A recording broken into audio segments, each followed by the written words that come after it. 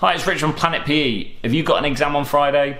Probably it's why you're here. So let's have a look at some quick fire revision. So each of these videos are going to be quite short, looking at specific areas, and you can then skip to the different ones as you see fit. So let's start the muscular system. So you need to know that there are three different types of muscle. We have skeletal muscle, we have cardiac muscle, and we have smooth muscle. So our skeletal muscle is the sort of muscle which is going to be responsible for us to move. Your smooth muscle is the sort of muscle that you're going to find in your digestive system, and we can't consciously control it. And then we've had cardiac muscle, which is pretty great because it doesn't fatigue very easily, and also we don't really get to choose when it beats and when it doesn't. However, we can influence it depending on how we exercise. So those three different types of muscle. Skeletal muscle is pretty important for us. Not only does it give us the strength and the ability to move, actually it gives us the shape and support that we have. So the reason that we are the shape that we are is typically because of our bones, yes, but also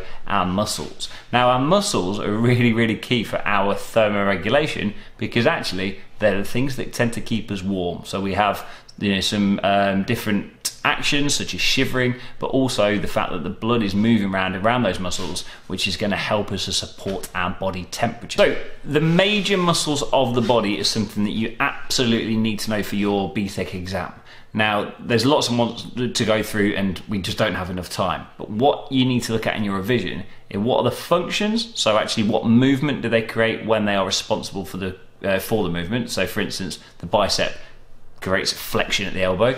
You need to understand where they're located, the origin and the insertion, and then finally, which sort of exercise would that fit into? So those sporting examples. So you're going to be asked things like kicking a football, maybe bicep curls, possibly the press up. So those common movements. So please make sure you go over your revision notes and have a look at those because they're the key key ones. Let's use the bicep curl as our main example. So you need to understand how muscles actually work together to create movement. So they work in what we call antagonistic pairs. And what that means is that we have one muscle which contracts and shortens, and the other one which, which relaxes essentially and lengthens. So in the bicep curl, the bicep is responsible for the upward phase of that movement. So as I'm bringing it towards my body.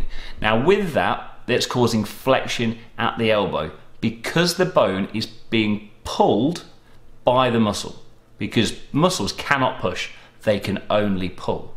Now, there are other muscles which are also aiding that, that muscle movement to happen. So the fact that I'm going to be doing, performing a bicep curl means that I need to be able to do the correct movement.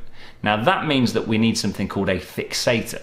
And the fixator in the bicep curl is the deltoid muscle, so the one in the shoulder. And what the fixator actually does is holds the joint in the right position. So if I was doing a bicep curl and I had loads of shoulder movement going on as I did it, it wouldn't actually be a bicep curl. It would mean that I'm probably working the wrong muscles and we can't isolate that particular movement. We've also got something called a synergist. Now, a synergist is something which is assisting the movement. So it's actually kind of helping it out so we can perform that movement better or actually recruit the right muscles for that. So in the bicep curl, actually, the trapezius is the fixate, sorry, is the synergist. So therefore, that is actually helping the movement to happen. Okay, so really, really quickly through there, we've had the three different types of muscle. We've had some tips about what you need to know and where we need to look at. And then we've looked at antagonistic pairs as well as the fixators and the synergists. So really quick fire. And if you want to carry on watching, the next video is all about the different types of muscle contraction. So if you want to watch that, just carry on watching. Make sure you subscribe, and we'll see you in the next one.